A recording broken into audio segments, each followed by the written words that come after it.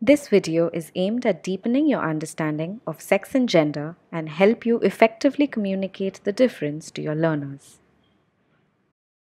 Why isn't there equality for all? Why aren't we all safe at night? Does the sweetness of nightfall hold delight for us all?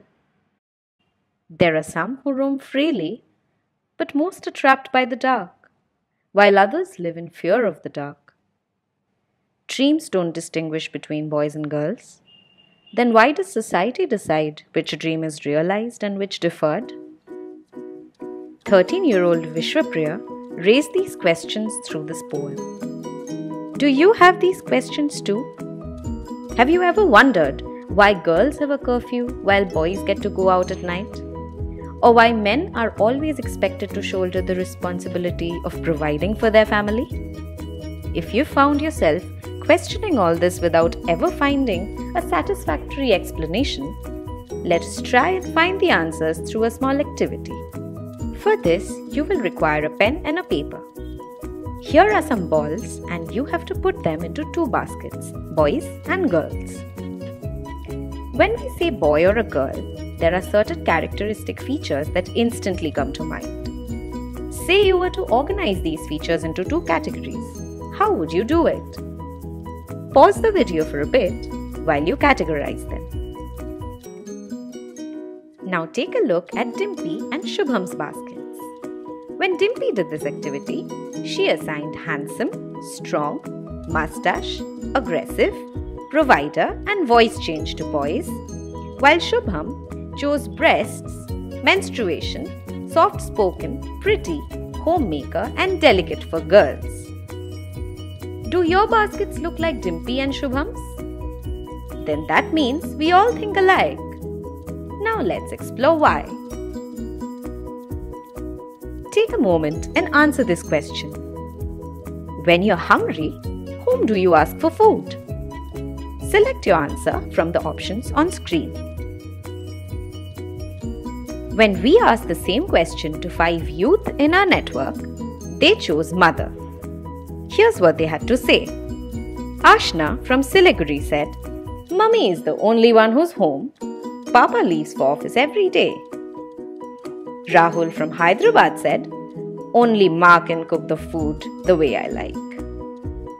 Vaishali from Chapla said, Ma has always cooked for everyone. Suraj from Deogar said, Mummy likes to feed us all. It comes naturally to her.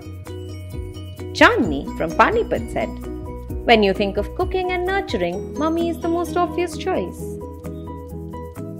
Women are traditionally regarded as the carers and managers of the household, while men are expected to go out, work, and earn a livelihood. But is that a tradition we have to follow? More importantly, who decides these gender roles? Because in reality, many men are taking on roles like childcare, cooking, household chores that were traditionally considered feminine and many women are going out and working along with men. So the fact is, most of the characteristics you sorted just a while ago apply to both boys and girls. But where is the real difference then? The answer lies in the difference between gender and sex. When we are born, we are assigned a sex based on our biological characteristics whereas gender refers to the definition of people in their socio-cultural context.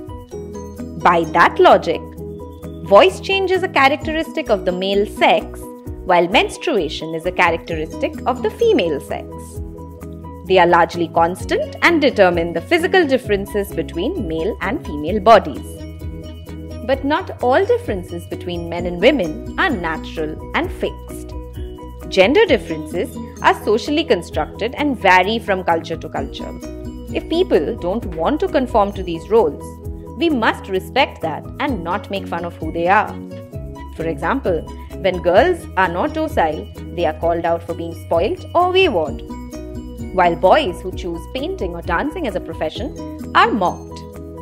It then becomes our responsibility to ask people enforcing these roles on men and women आखिर ऐसा क्यों?